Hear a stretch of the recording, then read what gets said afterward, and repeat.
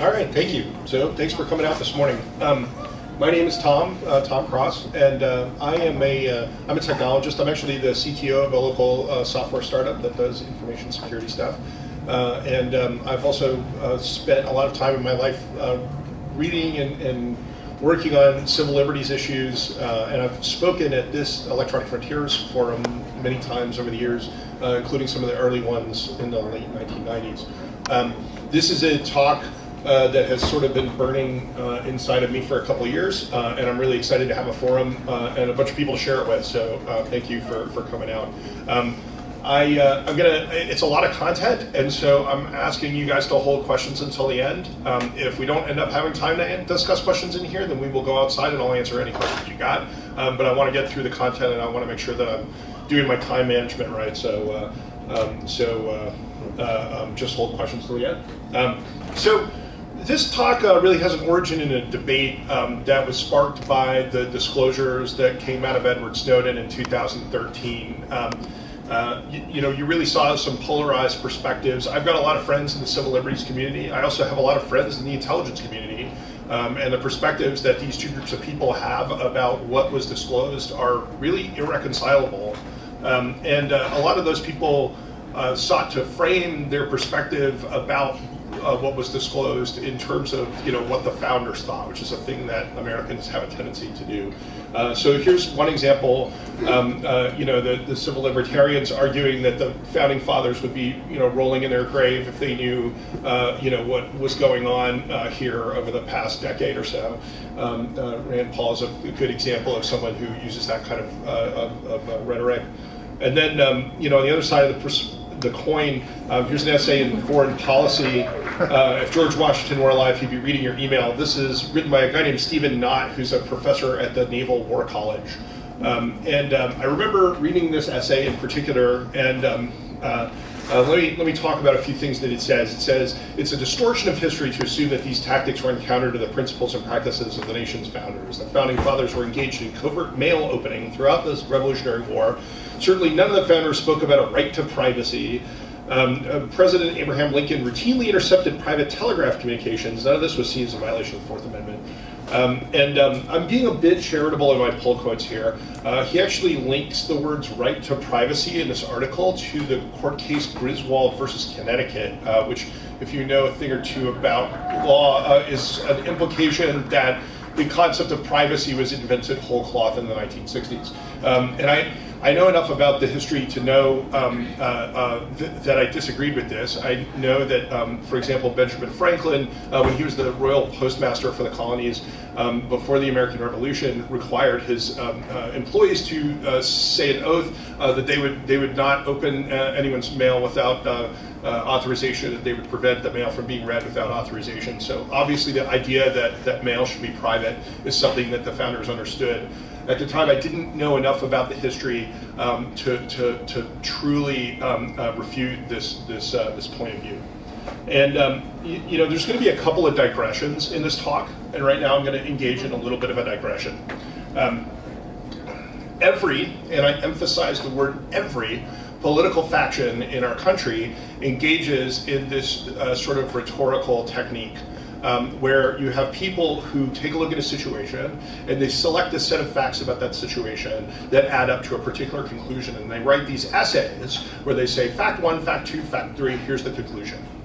Um, and the, these, these essays are very difficult to, um, uh, uh, to combat uh, for us civilians uh, um, because um, if you go research this, you look up fact one, it turns out it's true. And if you look up fact three, it turns out it's true. And if you look up fact five, it turns out it's true. And if you think about it, one plus three plus five equals nine. And so this essay seems to be uh, a holistic piece of information that is irrefutable. Um, and it has a particular conclusion attached to it. Um, the, the um, in, in order to be able to sort of immunize yourself against this kind of this kind of partisan argumentation, you actually have to know more about the underlying subject than the people who are writing these essays, and that's really difficult for people to do. Um, unfortunately. Um, uh, there's a great demand uh, for the essay number nine and the essay number six. Um, people want uh, you to validate um, you know, the interests of their faction and tell them that their faction is awesome and they should get everything that they want and no one else's interests matter. And they, they love it when you do that, particularly if you're really good at it, if you're really well informed, they will pay you for it. You'll get a, a tenured university position, you'll get a job at a think tank, um, you'll, you'll, get a radio show, or you'll people will buy your books. There's a lot of money in it, and people tend to do what they get paid for. Nobody likes Mr. Purple 15. No one's interested in the idea that things are complicated and that compromises are going to have to be made. Nobody makes money writing essays like Mr. Purple 15. People get paid a lot of money to write either nine or six. Um, and unfortunately for us, um, uh, unless you have a full-time job researching these topics, it's hard to know more than these people do about them. And so it's difficult to know um, the additional facts that they're leaving out of their narrative and why those facts add up to a different conclusion. Um, and so uh, um, with that, let's talk about uh, surveillance during the colonial era. So um, if we're going to talk about surveillance, obviously we need to talk about the Fourth Amendment. Um, and the Fourth Amendment starts out in this building. Um, anyone know what this building is? Boston. It's in Boston. It is the Old State House in Boston. So when um, Massachusetts was a British colony, um, this was the main government building. Uh, it housed the legislature and the court, and it's still there. Um, in fact, um, well, I'll get to that in a minute. So um, back in 1761, um, uh, a number of, of your founding fathers, including John Hancock, hired this guy named James Otis, who was sort of a firebrand attorney, uh, to um, protest um, this thing called the writs of assistance. The writs of assistance allowed customs agents to obtain general warrants that allowed them to break into warehouses or people's homes uh, or, or, anywhere that they thought they might find goods that had been smuggled into the country without taxes paid. Um, and so James Otis goes to this court uh, that was in this building, um, and he makes this argument, and it's this it's this uh, sort of long-winded uh, um, uh, argument that he makes. He starts out by saying a man's home is his castle, which is sort of a legal fiction that had been promoted by a few English intellectuals. Um, and he says, you know, you, you, you, can't have, general warrants are not constitutional. You, you have to specifically describe the things that you're going to search when you get a warrant. Um, and he goes further, uh, and he points out that at the time, um, the line between professional law enforcement and individual citizens was a lot more blurry than it is right now. And so anybody could get a writ of, a writ of assistance. And he says, you know, what a scene does this open? And he talks about neighbors who hate each other, getting writs of assistance and then vindictively raiding each other's houses. And then uh, he talking about selling past clothes, he goes on to explain that um, you know Massachusetts doesn't have any representation in British Parliament. Uh, and so, um, you, you, know, it's not right uh, for the for the for the for the British to tax Massachusetts if the American colonists do not have representation in the British Parliament. So this whole taxation without representation argument that you're familiar with from grade school, it is James Otis's argument, and it is first made in this courtroom in 1761 uh, when he's trying to get the court to overturn uh, the writs of assistance. So um, amongst the people assembled that day in the court is a young John Adams uh, who is enthralled with this argument and says that you know everyone left the courtroom that day like you know, ready to take up arms against the British government. And he says, uh, this, he's writing years later when he says this, he says, then and there was the first scene of opposition to the arbitrary claims of Great Britain. Then and there the child of independence was born. Um, and so, uh, um, couple things. So first of all, those of you who, who, who've been, uh, you, you, know, who, who may have read some of the red uh, partisan essays that talk about um, uh, the problem with judges, uh, the activist judges and legislating from the bench. I want to point out that th this is the origin point of the American Revolution. And it is a bunch of, of your founding fathers in a courtroom asking a judge to invalidate a statute that had been on the books for a hundred years because they felt that it violated a constitutional right that no court had before recognized. Uh, and so um, that's something to keep in mind. And, and Otis um, uh, agitated about this for years afterward. Um, uh, there are a number of people who were his clients um, who ended up in confrontations with customs officials over the next 10 years, um, who seemed to operate with a very perfect understanding of the law and had been coached to sort of create confrontations with customs officials that would lead to an opportunity for Otis to go back into court and argue about this more. Um, Otis also wrote up um, his, his arguments and they were disseminated by the Sons of Liberty. And so that's why everyone talks about no taxation without representation. This is where it comes from. So you can visit this building. Um, I went to Boston on a business trip a few years ago, and because I'm a privacy guy and an InfoSec guy, I was familiar with this case. I had read it, but I had no idea where it took place. And so I just like, I'm in this building because it's a thing you see when you're a tourist in Boston, and I'm in the courtroom and they have a plaque about it there. Um, they change their exhibits around, so it's not always there, but um, the, uh, um, but I'm reading the and I'm like, wow, I am standing in the courtroom where this happened, where the concept of the Fourth Amendment and the idea of American independence were actually born. Um, so, uh, so by all means, go visit it. So, um, you know, while uh, uh, Otis was agitating for opportunities to get into court to argue about this some more, uh, there's another individual who was successful at that, and his name is John Wilkes not John Wilkes Booth, although it's quite likely that John Wilkes Booth was named for this guy. Uh, and don't let that um, color your judgment of him. Uh, so he, he was not an American, he was British, um, and he was a member of parliament. and he did not like the, the, the prime minister.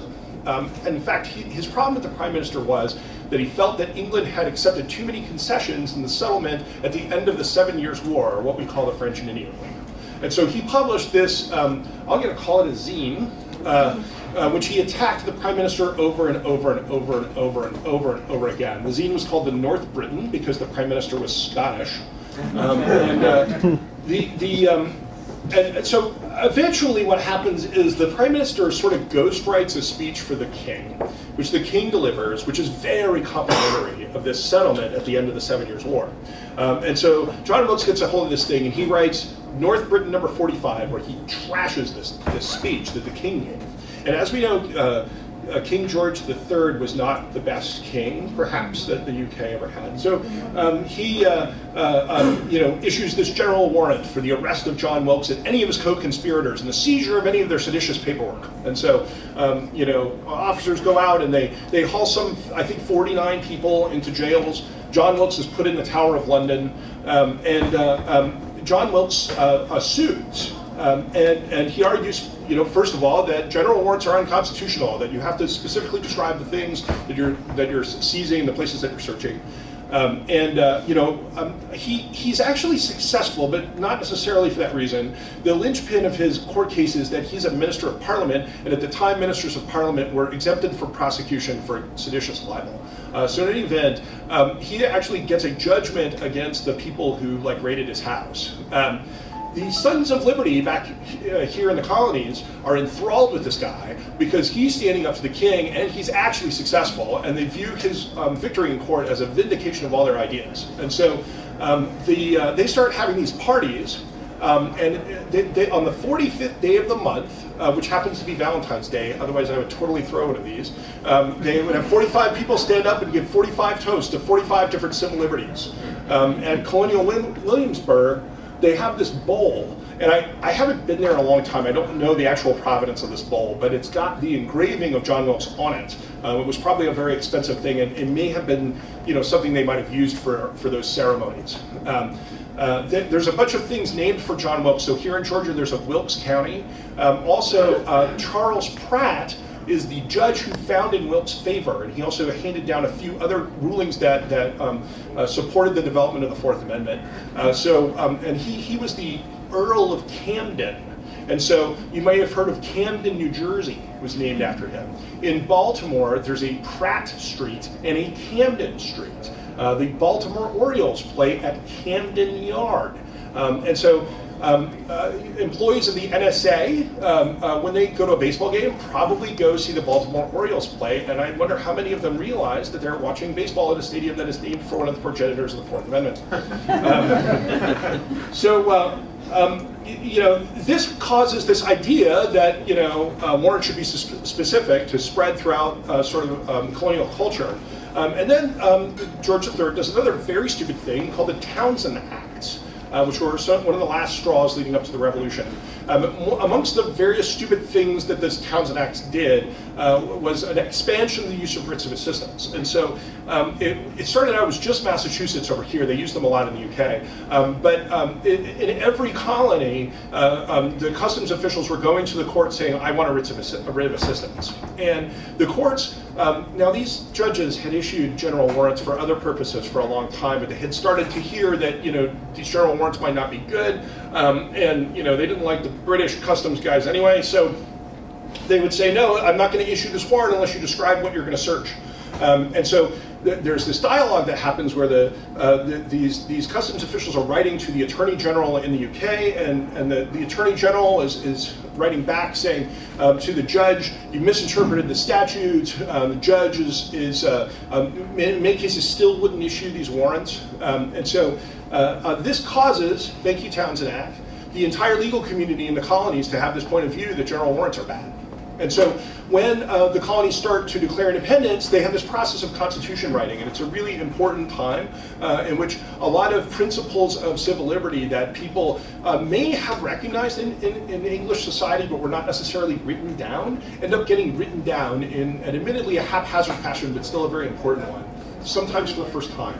And so in Virginia, uh, the Declaration of Rights from 1776 says general warrants are bad and ought not to be granted. It doesn't say shall not, it says ought not. So you probably shouldn't do that, but it, um, um, in, in, 1780, John Adams writes this uh, provision for the Massachusetts Declaration of Rights, and it's a little bit more similar to what we're familiar with, that the right to be secure against uh, unreasonable searches, um, it defines, and it, it says, um, you know, again, like unless the warrant specifically describes what's getting searched, it ought not to be issued.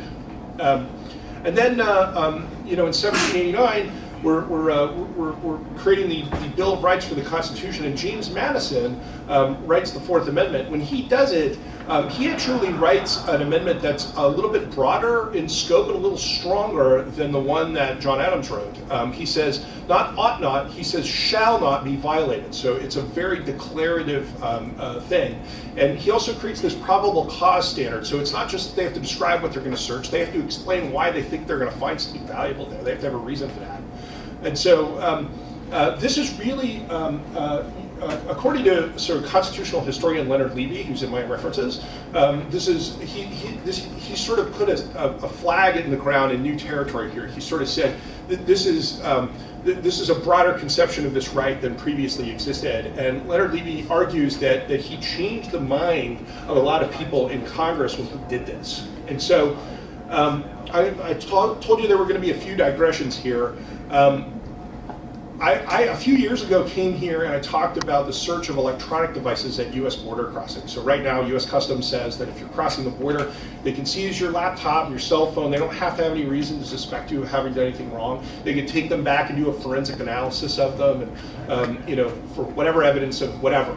Uh, and uh, um, in addition, um, there's also this extended border search doctrine where uh, Customs says that 200 miles from the border, um, you know, they can perform searches. So this happened to a friend of mine this summer. Uh, she was visiting a national park in Texas. She's American. She did not cross the border. Um, uh, she was at the park. She left the park, uh, ended up in one of these random customs checkpoints. Uh, they had a drug sniffing dog, eh, which barked at her. Um, and so they took everything in her car apart. Of course, um, she had no drugs. There was nothing there for them to find. Um, and so uh, the, the basis uh, for, for these uh, policies is a Supreme Court decision from the 1970s. And in that decision, the Supreme Court says this. Um, you know, this Fourth Amendment thing, um, this was uh, created by the same uh, Congress that a few months earlier had passed this Customs Act. And the Customs Act allowed for random searches of ships, and it allowed um, customs officers to get um, a warrant to search a, a, warehouse, and they didn't have to establish probable cause. Um, they, the judge was required to issue the warrant on the on the good faith of the uh, customs officer. So um, Supreme Court says if, if this Congress thought that that was okay and they passed the Fourth Amendment, they must not think those ideas are in conflict with each other. They must be consistent with each other. And therefore, our customs policies are also okay. Um, so I'm sorry I made an announcement in the beginning. I want everyone to hold questions until the end. Uh, it's okay. Um, uh, I know some folks have filtered in after I got started. But I got a lot of content to get through, so I got to manage time very carefully. So um, in any event, um, the uh, um, so in any event, um, uh, if you uh, if you read historian Leonard Le Levy, he argues that that's not true. that that this passage of the Fourth Amendment invalidated that previous custom statute. Um, and, and Congress never did anything like that again. And so if he's right, the whole uh, basis for um, th these kinds of uh, problematic searches may rest on an incorrect understanding of American history. Um, so, uh, slight digression, back to the topic. You may be wondering, I've been sitting in this talk for, you know, uh, 23 minutes or whatever, and um, there's been nothing about the mail. What the hell does any of this have to do with the mail? The answer is it has nothing at all to do with the mail. Um, the, the, um, the, the, uh, the Fourth Amendment was not intended to cover the mail. Um, th there are um, th there are uh, um, th there's an interpretation that when the Fourth Amendment talks about papers, they were referring to the mail. That interpretation does not uh, occur until the late 1800s, and I'm going to talk about it. At the time, they weren't thinking that when they wrote this. Um, the the um, however, um, secrecy of the mail was uh, something that was recognized um, even much earlier than the American Revolution. So um, this is a royal proclamation from 1663, and it says, um, you know, no person except by the immediate warrant of the principal secretaries of state shall open any letter or packet not directed to themselves. So uh, postal employees are are are, uh, are, are banned from from reading the mail, but the secretary of state can issue a warrant to do so. Um, so um, this was echoed in another act in 1710, and as I mentioned, uh, Benjamin Franklin ran the Postal Service in the colonies. Uh, he required his employees to, to, to, say an oath to this effect. Um, the, uh, however, um, in spite of that sort of um, footing, uh, the British in fact did a lot of mail opening. Um, there was a secret office in the British postal system. Um, it was it created intelligence by opening and detaining mail and copying correspondence and sending copies to the Secretary of State. Um, there were warrants issued by the Secretary of State. Uh, some of them had hundreds of names. And sometimes these warrants not only called for the named individuals to be uh, spied upon, but also all of their associates. Um, uh, in 1765, they got bored with the listing of names, and so they just issued a general warrant for all diplomatic correspondence in London. Um, it, when this revolution thing got started in 1775, Lord Dartmouth, um, who's the American secretary, so he's the guy in the British government responsible for the Americas, um, he ordered the opening of all mail from America to England for the purpose of gauging public opinion. He wanted to see how widespread this revolution thing was. So all mail. Um, and uh, this is a quote from a, a, historian, and it's in my references, who, uh, who uh, um, uh, you know, wrote about this. He said, secrecy made legality unimportant. So a lot of the records of the mail opening were destroyed. Um, and uh, um, it, it is not necessarily the case that everything was operating under a warrant. Eventually, they got real loose here. Um, so, uh, um, so this guy, William Goddard, um, was a newspaperman who built his own independent postal network uh, in the colonies. Um, and he wrote this, this essay which he argued that you know, there was this parliamentary post that was run by the British government. And it's a threat to American liberty because they might intercept newspapers and delay news from being disseminated. So in the middle of a revolution, that would be bad because people would not know what was going on. Secondly, they might read the private correspondence of Americans and conclude um, that you know uh, they, they, could construe private correspondence into treasonable conspiracies, is what he writes. So they might um, you know make a big deal out of nothing and hang a bunch of people. And so th this is bad. And so he proposes, he uses the word constitutional post. He proposes the creation of a constitutional post, uh, which is a um, you know uh, an American postal system, and he actually stands one up with his own money in 1774. And in 1775, uh, the Continental Congress adopts it and starts funding it, and that is what becomes the U.S. postal system. Um, and so, what's really important about this is that the U.S. postal system is, is born out of, um, in connection with the American Revolution, out of a concern that Americans have over the possible interception and reading of their mail by the government. Um, so, uh, of course, the colonists were doing their own mail reading. Uh, um, the Continental Congress regularly received quantities of intercepted British and Tory mail. Uh, in 1775, they created this committee, which included uh, some prominent folks like John Adams and Benjamin Franklin, to go through a bunch of mail that they intercepted that was Tory mail and decide which parts they want to publish in newspapers for propaganda purposes. So they had no problem reading the mail; they just didn't want their mail read, right? You know my civil liberties are important, yours, uh, whatever. So, um, the, uh, the, uh, um, but what's interesting is that, that, you know, a few months later, they're already seeing abuses in this practice. They already have a problem with this getting out of control. And they create some rules around it saying that only these specially designated prominent people have the right to engage in this behavior. It's not anybody who's working for the Continental Congress who's allowed to read mail. Um, so they, they tried it, they put their foot in the water, it hurt, and they, and they said, well, we better, we better regulate this a little bit. So um, in 1782 is the first postal ordinance that's passed by the Continental Congress. Um, it's kind of similar to the British ones. Uh, it says that you know um, uh, people who work for the Postal Service shall not open the mail or detain it or delay it. Um, but it does provide an official process uh, for access to the mail um, by an express warrant uh, from the President of the Congress uh, or in a time of war from the commander in chief of the army. So um, at this point in time, the army can read the mail whenever it wants, as long as the as long as a senior official in the army has given permission. So that's pretty. Um, that's much broader than we have today. Um, um but uh, that's that doesn't stay that way. So this is really interesting. Um, there's a secret journal that the Continental Congress kept um, with provisions and resolutions that they didn't disseminate publicly um, and in this secret journal, uh, so there was this issue where after the American Revolution, so this is 1785, the American Revolution had been over for a year or two, um, John Jay, uh, I think he was Secretary of State at the time, I'm not sure, but he, he was concerned that um, the government of Canada was encouraging their citizens to settle in places that had been uh, conceded to the Americans in the war. Um, and so he saw the Canadian government as a threat. He felt that they needed to be spied on. Um, and he argued that, that some mail openings should be occurring and that this should be done in secret. And so uh, Congress passes this resolution allowing the Department of Foreign Affairs uh, to um, inspect letters in the post office. Um, what's interesting is that it's related to foreign affairs, that it's secret, um, and that it's considered a temporary measure. Um, and then a year later, they come back and they pass this again, and they don't put an expiration date so we have a tendency to do that these days. We create these temporary measures and then we come back and they're permanent. Um, that was a problem even then. So, um, but the thing is that this is all before the Constitution is passed. When the Constitution was passed, it's not clear to me, um, you know, whether these things are still in effect. Um, in 1792, they pass a new postal act, post-Constitution. This postal act says that if any person employed in the post office shall unlawfully uh, open mail, um, then uh, you know they would be fined.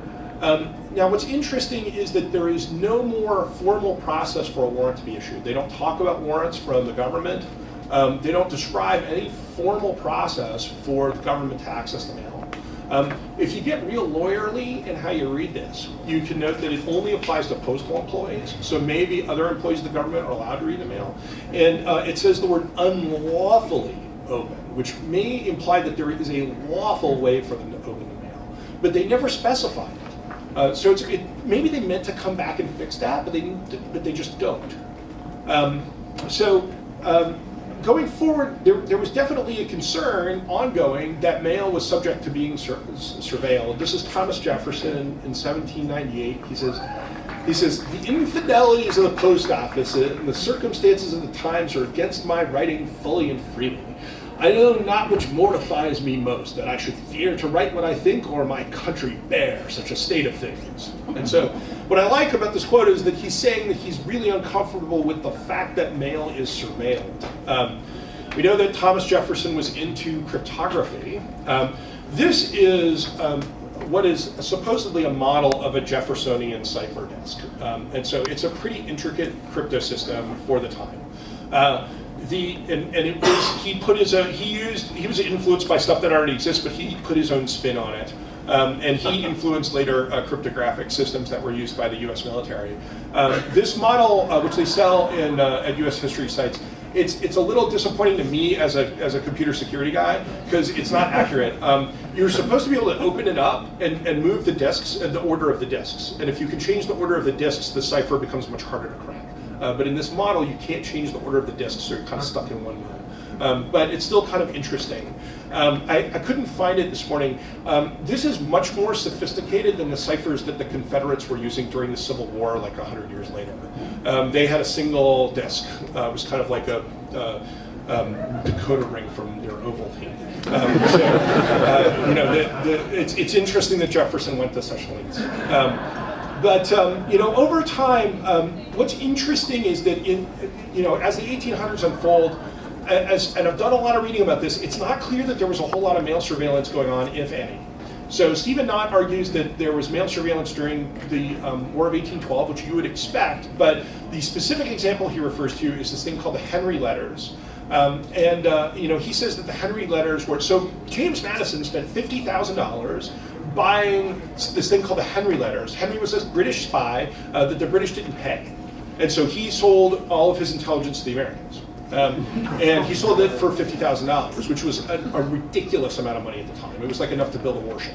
Um, and so, uh, um, you, you, know, the the thing is that, um, and so the way that Knott describes uh, Henry letters is that he says that they were intercepted letters from Americans who were sympathetic to the British. And um, and uh, uh, I've done some digging on that, and I can't confirm that that's true. What, I see in other sources is that the Henry letters were actually Henry's own correspondence to the Governor General of Canada, um, and and it was so he's selling a copy of his own mail, and so that's not really mail surveillance. That's me selling a copy of my own writing to somebody else. So I, I don't think that counts. Um, I haven't found uh, much else. Um, the, so the technology gets a little better. Uh, the Postal Service starts building these locked bags. And so um, when they're sending mail uh, over long distances, it's in a locked bag from point A to point B, and there are people in the middle who transport it, but they can't access the contents. Um, in 1825, they pass a new postal act. And this doesn't have the lawyerly stuff in the last one. It doesn't talk specifically about postal employees, it says any person. And um, uh, it doesn't talk about lawfully, it just says opens the mail without, uh, you, you, know, with, the, with, that's not theirs. And so, um, you know, if, if this was sort of weasel wording around, sorry, if, if this was weasel wording around the issue, um, the weasel wording was gone in 1825. And again, there was no formal process for the government to access the mail. Uh, so David Seipp is a law professor uh, who looks at the, he studies the history of law. Um, one of his earliest uh, uh writings was about um, uh, privacy, and he says this idea that no legal process, no executive order could detain and open a letter in the post office captured the popular imagination. And he quotes Ralph Waldo Emerson, who said, To think that a bit of paper containing our most secret thoughts and protected only by a seal should travel safely from one end of the world to the other without anyone whose hands it had passed through having meddled with it. Uh, so, really interesting, astonishing that maybe in the 1800s there just wasn't any mail surveillance happening. Um, so this is uh, in Congress, this is a congressman in 1876. He's talking about the Civil War. And he says, uh, when repeated applications were made by local postmaster of the importance of ascertaining hostile proceedings through letters deposited in the war districts of the country, an order issued from the department prohibiting sl the slightest detention, delay, or tampering in any manner with such letters. Now, is this an authoritative source? No. It's a congressman speaking like more than a decade after the fact, and we all know how to tell if a congressman is lying. You see if his mouth is moving, right? So I don't know. Uh, what I can tell you is that in a lot of reading about this topic, I haven't found any contradictory facts. Um, in fact, um, during uh, the Civil War, newspaper reporters um, would use the mail as a way of avoiding surveillance of the telegraph. Um, and I'll, I'll, talk about that a little bit more. So in, in 1878, uh, there's this court case um, over the mailing of, uh, of circulation of letters concerning lotteries. So they were doing lotteries through the mail. And the postal system didn't want to carry them and they passed a law against it. Um, this guy went into court and he said the Postal Service has a monopoly on the distribution of, of, letters, and if it has a monopoly, then it cannot censor. It must be a common carrier. Um, they, they, can't decide what to carry. And, and uh, the court sort of weasels out of this position by saying that the, the, the, the, the Postal Service can decide what, the, what they want to carry and what not to carry. Um, but they're but they're not a monopoly. You can set up your own postal system if you want, and you can carry your lottery letters, but you can't use our postal system. Um, and so, you know, it's kind of a let them eat cake proposition because at the time setting up a postal system was a rather expensive endeavor. Um, but uh, uh, that was what they decided. And then they have a um, sort of oh by the way that they include in this decision. And, and when lawyers use the word dicta to refer to what a court says, oh by the way. Um, they said a distinction is to be made between what is intended to be kept free for inspection, such as sealed letters, and what is open to inspection, such as newspapers. The constitutional guarantee of the right of the people to be secure in their papers against unreasonable searches and seizures extends to their papers closed against inspection wherever they may be. So this is that argument that the papers in the Fourth Amendment refer to the mail. It's from 17, it's from 1878. Now, um, again, I, I, as I said, this isn't an originalist perspective. If you don't like lawyers um, uh, legislating from the bench, maybe you might argue that this that this is judicial activism. Uh, but the, the fact is that um, for 100 years, the sanctity of the mail had been widely respected in American society, and so nobody blinked about this. Um, it was totally reasonable to constitutionalize this as part of the Fourth Amendment. Um, now, what, so, so we, we have this, uh, this constitutional principle, um, which is great, but we, we, don't, um, we, we, we don't necessarily understand it. Um, and, so, and so the next topic is the telegraph. What about the telegraph? It's a new communications medium. It's extremely popular in the 1870s. Um, one aspect of the telegraph is that it involved creating copies of messages. We had human beings relaying them. So um, the message would come into me, I would write it down, and then I turn over and relay it out the next the next route. Um, human routers. Uh, and every time they had these paper copies that they would store. And so that became something that could be subpoenaed. And boy, were they subpoenaed. Um, the Congress uh, subpoenaed three quarters of a ton of telegrams in 1876 in a real estate investigation. Um, and uh, you know, so so the Hayes-Tilden election, which was in 1876, was highly contested. It was one of these sort of hanging chad kind of situations where no one was sure who really won the election, um, and the debate about it went on for, for years. And so there there were um, uh, and so there were there were 30,000 telegrams that a Senate committee investigating that um, was able to subpoena, and they did these dragnet searches where they read every single telegram looking for any evidence that that something wrong had been done. Um, and so um, you, you, know, tons of monitoring of the telegram system. Um, there was fights over this. Western Union resisted it. There was a Western Union employee in Missouri um, who was held in contempt of court for refusing to turn over a large number of telegrams with communications involving a named set of individuals. Um, and uh, um, you know, ultimately, they were forced to turn those over. Um, so. Uh, in addition, you had, you know, so, so the 1870s, the Gilded Age was really this sort of age of corruption. Um, you had a lot of political corruption. Uh, you had a lot of, of uh, of, of um, you know, corruption in the corporate world. And Jay Gould is one of these Machiavellian characters who managed to slither to the top in an environment like that. Um, and so he takes over Western Union and he does it, so he runs his own newspaper and he, he has all this sort of um, uh, critical things that he's printing about them all the time to try to lower their stock price. And he, he uses some of his money to set up competing businesses which they in turn buy, which causes him to get some of their capital. Um, and eventually he manipulates the situation to the point where their stock price is low enough that he can buy it and he just buys it out. Um, and at that point, he ensconces himself in uh, their corporate headquarters in New York City. Um, it's one of the biggest um, um, most beautiful, significant buildings in New York at the time. Uh, and it's also sort of a citadel because there's a bunch of people who are trying to kill him, uh, and uh, he's very safe in his uh, fifth floor office up there. Um, the uh, and and the, once he's up there, he has access to all of the telecommunications that are going on in New York City, all of the the um, market trading uh, and the news related and, and, secrets that are being shared about it. He can see it all. the Associated Press has an exclusive contract to use um, uh, Western Union uh, for their uh, uh, news dissemination. So he's in the middle of all the news. Um, and so he's sort of like this steampunk uh, corporate big brother. Um, um and so, you know, the telegraph is not a very private uh, communications medium at the time. Um, and, and the courts don't recognize it as such. the courts refuse to extend ex parte Jackson to the telegraph. Um, and they make a bunch of arguments, but really the core of their argument is that you know, the, the postal system is this is has been respected as this private thing for the, a long period of time, and that's our tradition. But the telegraph is new, and, and the tradition does not necessarily apply to it. It's not run by the government. It's not the same thing. Um, and so they, they understand there's this tradition they're trying to uphold, but they don't really see it as a broad principle of the need to be able to communicate privately. Uh, they, they really see it as being about the man. Um, Congress debated legislation protecting uh, telegraphs. They didn't pass one. So a lot of states did, um, but not in a way that made them legally privileged. Uh, um, Congress did resolve in 1880 that they would stop issuing dragnet subpoenas. So at least they decided that that was bad, but that's as far as they went.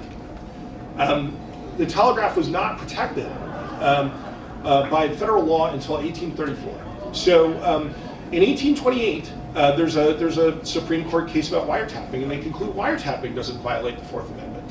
Fourth Amendment's uh, they, they, they, talk about eavesdropping. The Fourth Amendment doesn't mention eavesdropping. Uh, the, um, and so, as a, sort of as a consequence of a lot of different things, but the Olmstead decision being one of them, um, the, the, uh, uh, the, there's this Federal Communications Act in 1934. Um, and what it does is it says that it's illegal to intercept and divulge the contents of communications through, uh, received through wiretapping. So that language is interesting because it's intercept and divulge, which led some people to conclude that interception is fine as long as you don't do the divulging. And so there's, there's potentially a whole lot of wiretapping going on, but they can't use the results of the wiretapping in court. And they can't use it to develop evidence that they present in court. So it's stigmatized as an investigative technique, uh, but it is not necessarily prohibited. Um, uh, you, you, know, particularly from an intelligence perspective, a lot of it may have been going on. Um, and, and, but, so this takes us to um, the 60s. Berger versus New York and Katz versus United States in 1967, um, where the Supreme Court says, no, no, no, wiretapping does violate the Fourth Amendment. Um, and part of it is because um, we're getting to the point where we, well, let me, let me take a step back here. You know, we, obviously at the time of the American Revolution, our telecommunication system is the mail. We're concerned about the privacy of the mail. We build our own postal system because of it. We, we imbue into this postal system this idea that, that the mail ought to be protected from surveillance, and we actually do a better job of that in practice than the British did. In 1845, the British Secret Offices publicly disclosed that there's a whole lot of controversy out there. Um, it's not clear that the Americans had something. They did, they kept it well uh, under wraps from historians. Um, the the uh, you know so we've got this idea that, that communications privacy is important, and a lot of our intellectuals like Ralph Waldo Emerson believe that, that, that that's that's meaningful in terms of their ability to communicate freely and to think freely. Um, uh, but we have these new technologies that come about, and it's so we, we eventually get to the point where we constitutionalize this principle. It's now part of the Fourth Amendment, but it, we haven't really appreciated its breadth. And then over time, we consider these new technologies, and we get to the point where um, we have another piece of legislation, the Federal Communications Act, that kind of says, you know, wiretapping is also bad. And over a long period of time, we say, you know what, this is the same principle. We shouldn't be listening to people's phone calls. We shouldn't be reading the mail. Um, privacy is an important part of the freedom to think. And so um, eventually we get to the point where we now have this constitutional principle that communication should be private. Um, and it's something that evolved over time uh, throughout 200 years. And even before the American Revolution was a, was a consequence of asking judges to recognize a right that had not been recognized before. So, um, you know, this takes me to a few conclusions. I've gotten through this material a lot faster than I thought I would. Um, communications privacy and the Fourth Amendment have independent histories um, that are intertwined with the American Revolution long-term customs can coalesce into constitutional norms as individual human rights are first recognized by people and then become better understood. Um, and so what the founders thought is a subset of what history teaches us. And um, it's a really important subset thereof, but it, the, the entire picture of what history teaches us is really what's important when we're, when we're asking ourselves whether these practices that we're engaged in today are right or wrong. Um, so I, I have a few references. This is my primary reference. If you want to read about the subject, the number one thing, or, or, you think I'm full of it and you want to go check my sources, uh, read this paper by this guy, uh, Desai is a law professor at Wisconsin Law, Law School. He wrote this paper called Wiretapping Before the Wires. A lot of my content comes from it. Um, it won an award in 2009 from the U.S. Postal Service given to for scholarship in postal history. Uh, so it's been recognized as a significant source. Um, there's a whole bunch of other sources in here uh, including Leonard Levy's book on the origins of the Bill of Rights, which is a great book if you're interested in the Bill of Rights in general. Um, okay, so I blew through this topic way faster than I thought I would, um, and now I got lots of time for questions. Uh, I know that somebody had asked one. Um, all right, we've got a uh, yeah, we've got a remote microphone. It looks like it looks like a square nerf ball. Uh, it's nice and soft. You can actually throw it across the room if you like. uh, but I, I, will run these. Please back. don't throw it at me. Yeah, no, don't throw it at me yeah, this is this is not a weapon. But I'll bring it back for the question.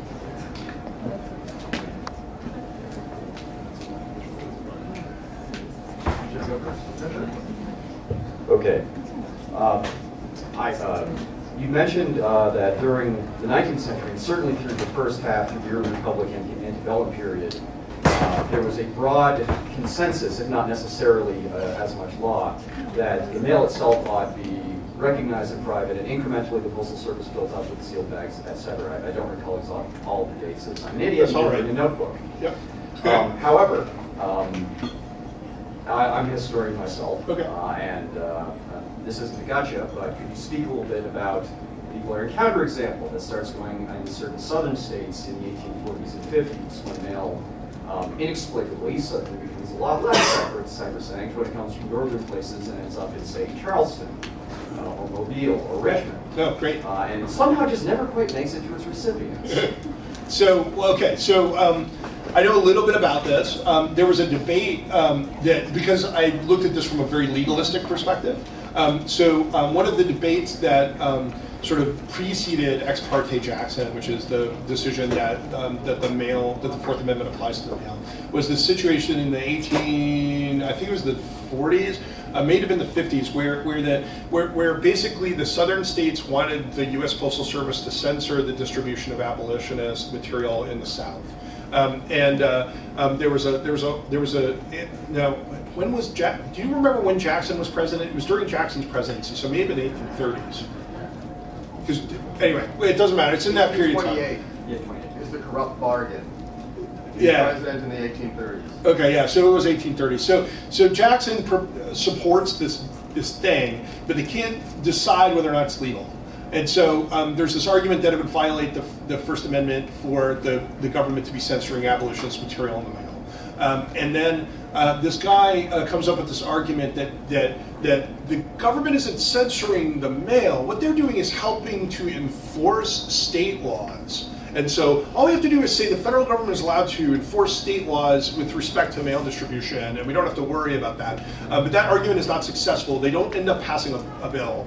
Um, and so the Federal Postal Service did not um, engage in any of this behavior. But certainly southern states did censor the mail. Um, and to be clear, um, prior to the Civil War, the Bill of Rights did not apply to the states. So the states um, could do what they wanted to do. Um, uh, it- it- you know, except with respect to their own constitution. So um, this, the southern states had no problem censoring abolitionist material, and, and um, I, I'm not sure about the specifics of, of them interfering with the postal service or where the state authorities would have gotten to interact with the postal service. But I mean, I, I can tell you in colonial times, like you, you know, they- they'd have like a tavern in the town, which is really just like a house with a living room, and there's a table, and then you know some uh, a kitchen area with some some you know some some flasks, right? These things were small, um, and the the postal guy would come with the mail and he'd dump it on the table, right? And then you if you had outgoing mail, you'd put it in a like box next to the door, and he'd take it, and then all these letters are just kind of sitting around in the on the table, and it was very easy to to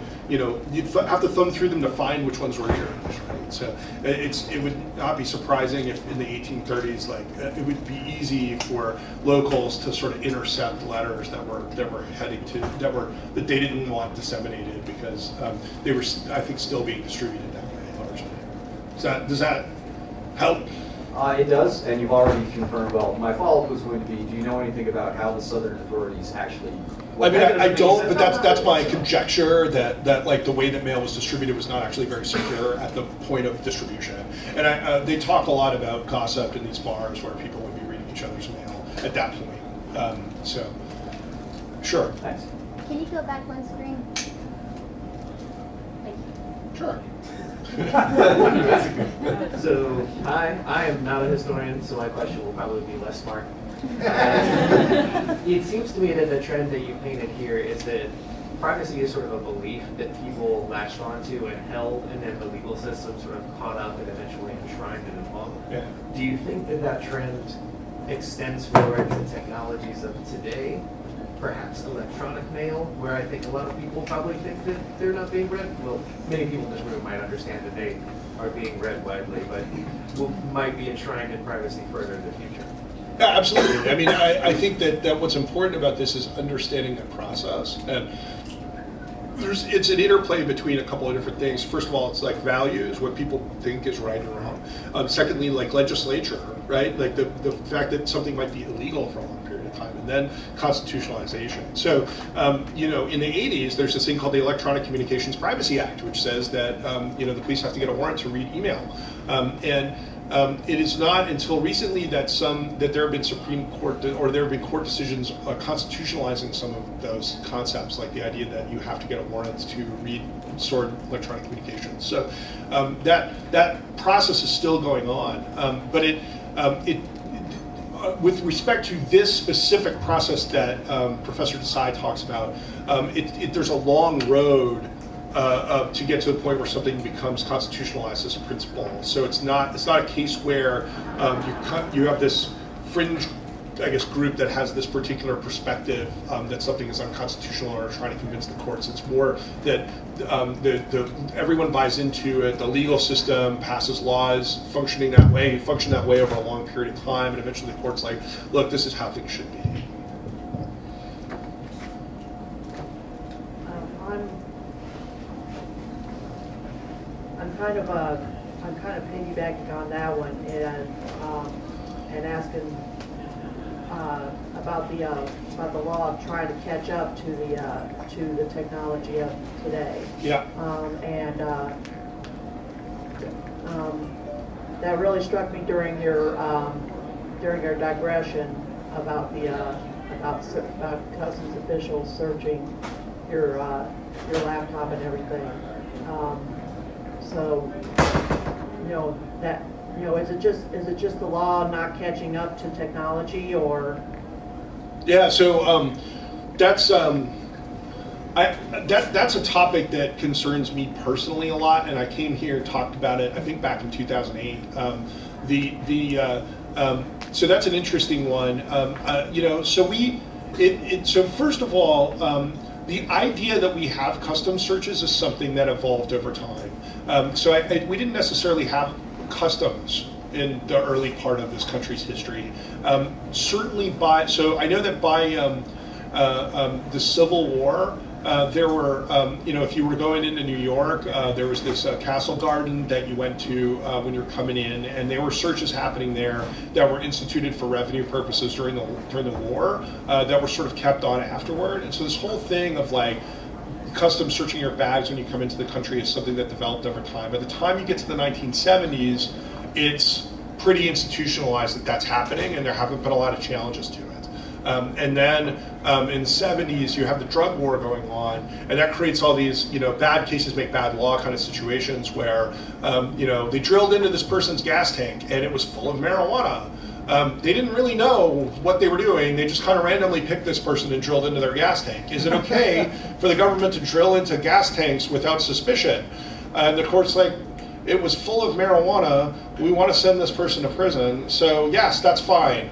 Um, and and so we get this this uh, um, expansively. And one of the things that that is frustrating right now is that if you are an innocent person and they don't charge you, you don't have standing to challenge.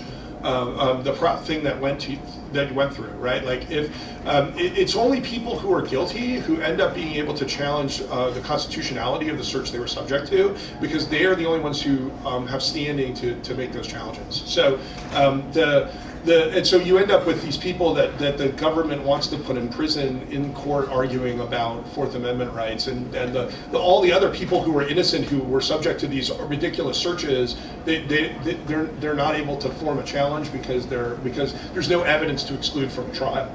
Um, so I think um, I, I, believe that, that it's actually more complicated than, than in that specific case than, um, than uh, you know the government failing to keep up with technology. Um, it's more it's it's a situation where they have this principle that people ought to be subject to search when they cross the border, and they think it applies to everything. Um, and technology has made the consequences of that principle more significant than they used to be. Um, but uh, um, uh, you know, the idea that well, maybe that principle isn't such a good idea anymore hasn't sort of dawned on enough people. Um, and so I think that's real. If I, hopefully that that kind of helps, but it's it's sort of a it's a little bit of a different situation where we've evolved this principle over time, and now technology is making the consequences of that principle much worse than it used to be. complicated than just, that it's kind of more complicated Yeah, it's not like we have this principle that we apply to some technology and we just need to apply it to that technology. It's a situation where we have a principle um, that, that we are applying to this technology that maybe we shouldn't. So it's actually almost the inverse case. Um, so you, you, you uh, so you struck me with um, something around expectation of privacy and privacy. So going back to colonial times, um, I'm getting a newspaper that's seditious in nature, but it's not wrapped, it's not enclosed. Yeah. So you know that's going through, and but I'm getting a, it in a sealed envelope. Yeah. Could you talk about that and then maybe bring it back to today with like encrypted emails, unencrypted emails, Yeah. the expectation of privacy?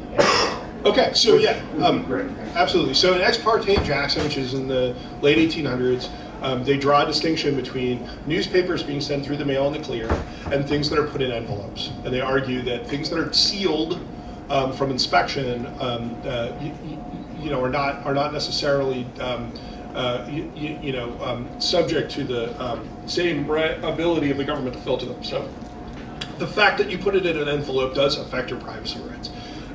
The the uh, um, when we get to the 60s, when we get to uh, Katz versus United States, they use the words that you just used. They use the reasonable expectation of privacy. And so that case involves, um, they weren't allowed to wiretap. What they did is they put a bug in a phone booth. And um, the, they knew the guy was making calls from the phone booth. Um, and the, the argument that the court made is that the guy had a reasonable expectation that his voice would not be recorded in the phone booth, and that the Fourth Amendment doesn't just apply to your house, and they can't go in your house and put a wiretap there. It, it, it there's it has this more uh, loose idea of, of what is your reasonable conceptions about this context. Uh, when I close the door to that phone booth, I reasonably conceive that my uh, that, that I'm private in here, and, uh, um, and and putting a bug in there violates that reasonable expectation of privacy. So um, the it's a little. Um, uh, um, messy because it, it it's it's this thing where when it, it seems to relate to the word reasonableness in the Fourth Amendment, but the word reasonableness in the Fourth Amendment didn't originally mean uh, you, you know sort of objectively reasonable. It, it had to do with whether or not the, the it had to do with lawfulness. Um, it had, the, the the founders thought very differently about it than than um, the lawyers in the '60s did necessarily. Um, but uh, you, you, know, it is a it is a concept that, that gets applied today in, in Fourth Amendment law. It's like it's like, is it reasonable for you to consider this to be private? So I can take this to the, there's this uh, interesting case going on right now. Uh, where law enforcement took over this child porn site behind Tor. And from once they took it over, they were able to uh, use malware to infect the computers of the people that were using the site. Um, and um, you know, um, they've charged subs- subsequently, uh, you know, a lot of these people. And like I said, you don't get to go into the court and make Fourth Amendment arguments unless, generally speaking, you're actually guilty. And so um, there's all these Fourth, interesting Fourth Amendment arguments, perhaps, that are coming out of this. And the, the, the, you know, people who are making them are, you know, quite objectionable, and everyone agrees they should go to prison. But the question is exactly what process should have been used here in this investigation, and was the investigation done appropriately, and how should these things be done in the future? And those are important questions. Um, and so the the uh, um, and so the, the there's a there's a judge who wrote this terrible decision that nobody has any reasonable expectation of privacy on the internet at all because the internet is really insecure and people get hacked into all the time. And so if you're using the internet, um, you're pretty much owned, and so you might as well forget it. Uh, and that, that was his rationale for why it was okay for the FBI to do this, uh, because you know the internet is a cesspool of, of malware anyway. Um, and it's uh, you know I, I, I, I, disagree with that point of view. Um, as a computer security person, it's frustrating because we try to make the internet less of a cesspool. Um, but uh, uh, I, I, think it's I think it's a step too far. I think that you do have a reasonable expectation of privacy with respect to the stuff that's on your laptop um, uh, uh, you know, just as much as you do with respect to the contents of a phone booth. But um, so there, there are arguments about exactly what kinds of things construe a reasonable expectation of privacy. Um, and so, uh, how, how does encryption play into that? I think what's interesting is that encryption doesn't just convey a reasonable expectation of privacy. It conveys, if done properly, a, a total reality of privacy. Like it, it, simply cannot be broken. And so, uh, um, you, you know, it's it's a little bit of a a, a different context. We don't necessarily require things to be encrypted in order to require a warrant in order to access them for what that's worth. Was that? It was a bit rambling, but perhaps it No, no, no. the things you were interested in. Great. No, I wanted to understand the, the juxtaposition of I, I get an ISIS, I get a ISIS um, newsletter, Yeah. yeah. clear, Yeah. and it's put in my email, Right. I mean, in my direct, in my uh, Yeah, no, I- direct I see what you mailbox, mean. Right. or I get it over the web, Right. and you know everybody can see it. Yeah. I'm kind of stupid So to we- expect people to not take action. Our policy today does not make that distinction, right? It does not distinguish between I, I got this, I have an encrypted email and that's private, or I have clear text email and it's not private. We, do, we don't make that distinction. The policy today is the email going over the wire requires a warrant to access it regardless. Um, the the uh, but the, the, the distinction they do make is with respect to metadata. So um, they, the, you know, in order to route that message, there's addressing information, and you know, in the postal service, the postman has to read your envelope in order to route it, and so that information is exposed to somebody else. And so that information, they argue, is available without a warrant um, to the degree that you know the NSA was pulling in everyone's telephone call information and storing it in a database. Um, and their argument was, again, um, it's just addressing information. It's exposed to the phone company. You don't have a right to privacy to it, and we can collect it all.